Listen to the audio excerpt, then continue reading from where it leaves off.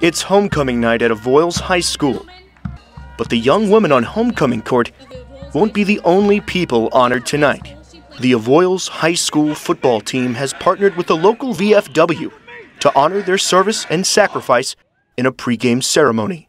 Well, we were invited to participate in a veterans program tonight. We, we have proudly served our country.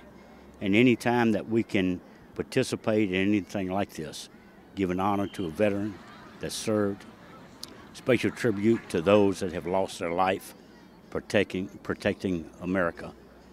And it, it's an honor for us to do it. Head coach of the Mustangs, Andy Boone, said he got the idea from a social media post and decided to put together the pregame ceremony.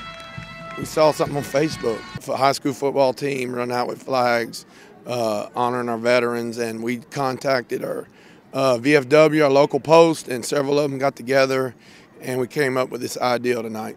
The ceremony is the first of its kind held by a high school in the state of Louisiana, and Coach Boone knew the importance of this ceremony to the veterans. Uh, they were very excited. They were very emotional. Uh, as you can see by some of their responses, they're very emotional about our country and about the service that they've given our country, which they probably should be. And uh, so they were very excited to be recognized tonight.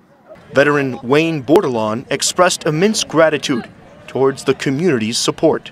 And I just want to personally, and on behalf of, of, of our post, uh, uh, we appreciate everything everyone has done for us.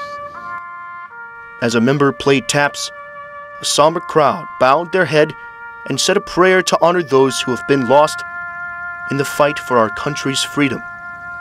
The ceremony was capped off with a presentation from Coach Boone and his staff, a wooden plaque commemorating the service of these heroes.